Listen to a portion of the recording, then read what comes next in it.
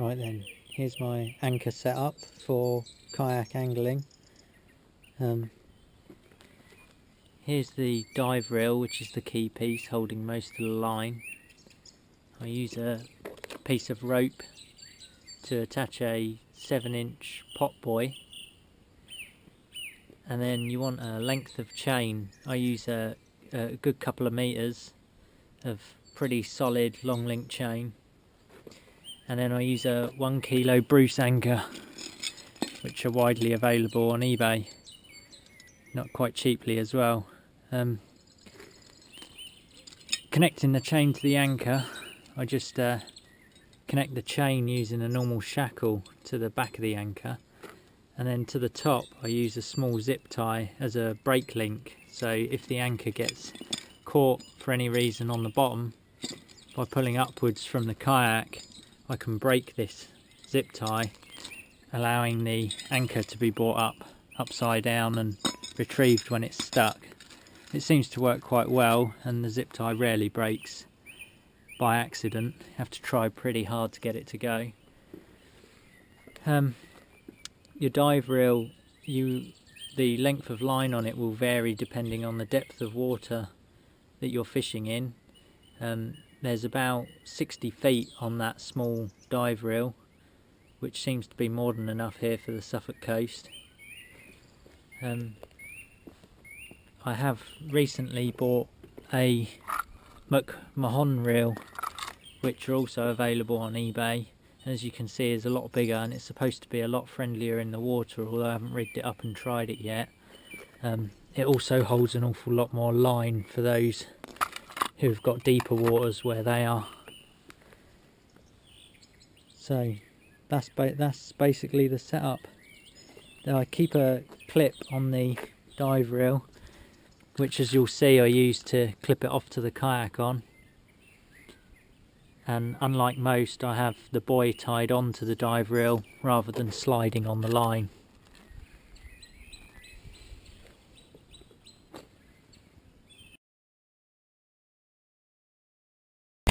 Okay, so now I'm going to show you how I set my anchor. First thing I do is get the whole lot from behind me. It's kept in the tank well. Check for knots in the cord for the buoy. Going to check for knots in the anchor chain. Don't want any tangles.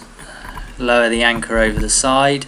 Let out a small amount of line off of the dive reel and I'll clip that into my quick release carabiner Using a carabiner allows me to release the line and drop everything over the side if a boat is coming or if I needed to quickly. The buoy will keep the reel floating so it's easy to return back to where I was anchored. Once the anchor reaches the bottom I'm going to move the cleat to the rear so that the anchor warp now lies from the rear of the kayak keeping me rear, rear end into the tide and I'll cleat the anchor trolley off in the zigzag cleat. Now we're at Clacton here, there's not a lot of tide running, so just a bit of patience while the tide starts to pull the anchor along the bottom. We'll get a faint bite on the anchor with a small amount of warp out, at which point it can start to let line out and let the tide pull the line away. Setting anchor can seem quite frantic in strong tides because you'll find yourself drifting down quite quickly and you may find that you need to paddle quite far up tide of where you actually want to be when you're sat at anchor before you drop it. And just letting the tide pull out some warp here. You want about three to four times the depth of the water in warp behind you, especially with a small anchor like the one kilo Bruce.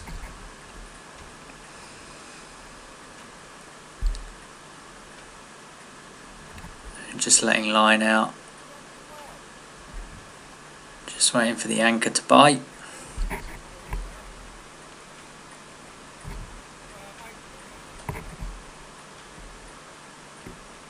Once the anchor bites, we'll get the clip on the dive reel and clip the dive reel off to the side of the kayak. And then place the buoy behind me Keeping the buoy on a separate piece of string allows me to keep the buoy out of the water while I'm fishing, which stops it knocking on the kayak. If you had the buoy on the line, it is possible that the buoy could wrap around the cleat at the back, as some people have discovered Keeping the buoy on a separate piece of string prevents this from happening.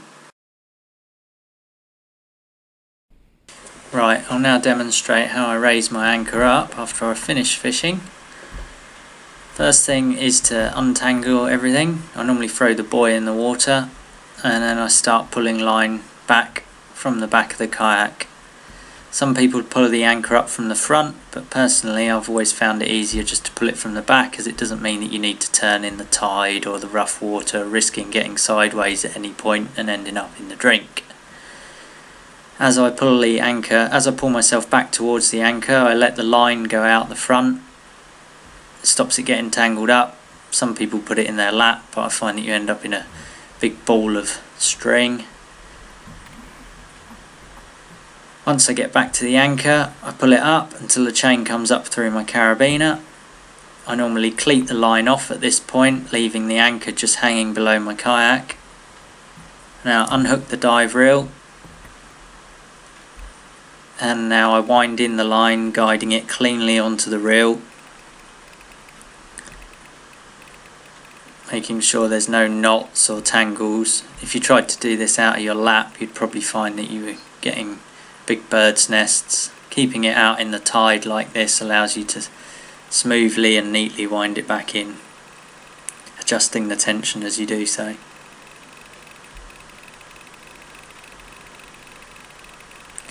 Takes quite a bit of winding with a little reel like this. The big McMahon reel should be a lot easier. This reel is also slightly over full so I have to watch I don't drop the line behind the spool.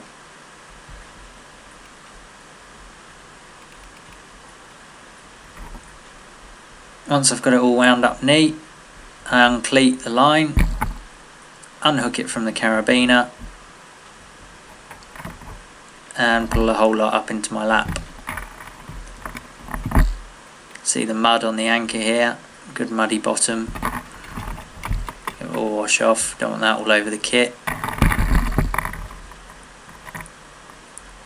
Wind the chain up to the reel to get rid of the last little bit of string.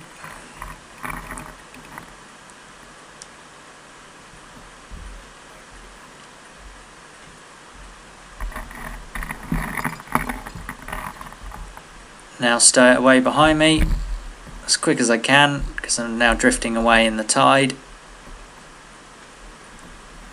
and get my paddles out ready to head back to the beach. That's a day's fishing over. Hopefully this tutorial has been useful to you.